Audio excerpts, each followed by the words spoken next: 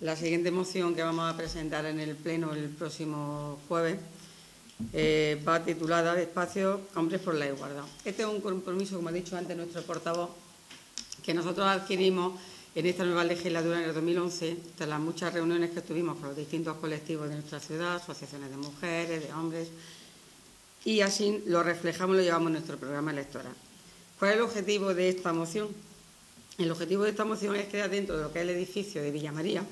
un espacio para que los hombres puedan crear y llevar a cabo iniciativas y contenido que favorezcan lo que es la igualdad real entre hombres y mujeres y la lucha contra la violencia de, género, que todos estamos viendo últimamente,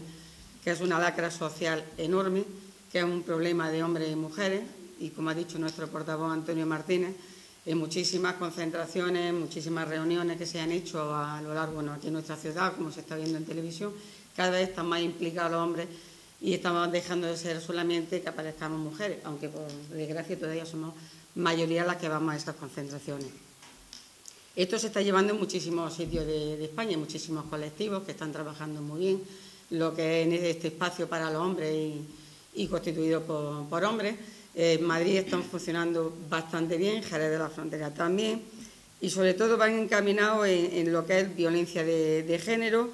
los empoderamientos en, la desigualdad salarial que hay todavía y que asista latente y, patente entre hombres y mujeres, y el acceso a nivel laboral, educativo y social.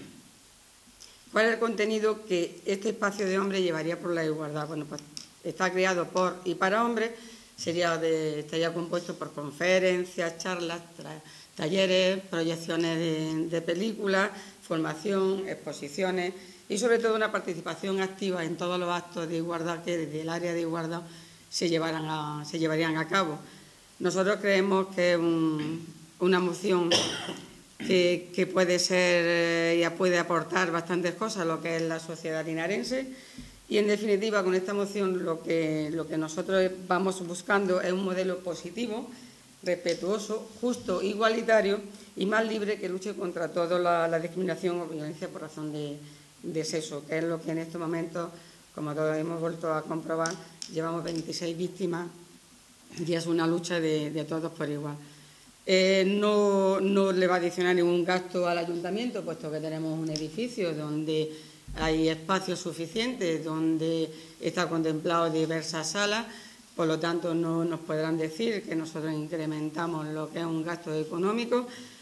y, lo vemos que es positivo porque siempre que se pueda sumar